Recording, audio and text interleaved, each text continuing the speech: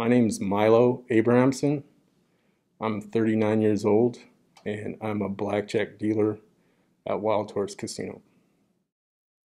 I believe I contacted COVID um, around June 23rd of this year. I was asymptomatic for, I would say, about 10 days. I went to my cousin's funeral and kind of started really feeling the symptoms of COVID. You kind of let your guard down. And you think, you know, I've been through this far and I haven't got COVID. And that's the mistake that you make. At first, they thought I had pneumonia. I was in the hospital for um, a few hours. They talked to me about a experimental drug called Remdesivir. I spoke with my mom about it and took the drug. At that time, um, everything kind of went blank. I was put into a medically induced coma.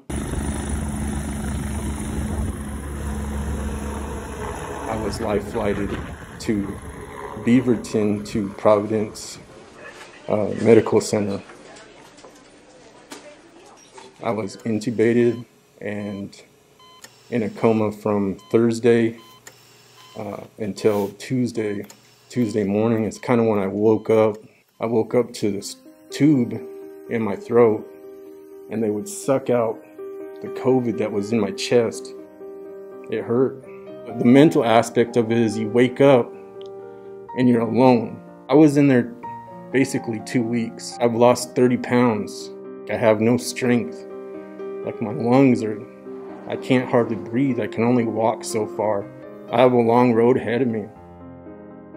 We learned a lot about our family, and I think uh, uh, other families, uh, you got to be able to reach out to each other and help each other during these kind of times. We have always uh, been very close.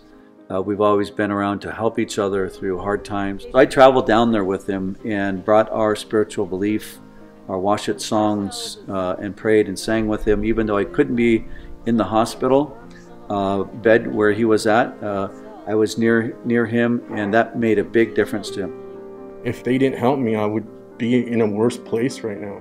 My main message to everybody here on the tribe is take this very seriously. It only takes one time.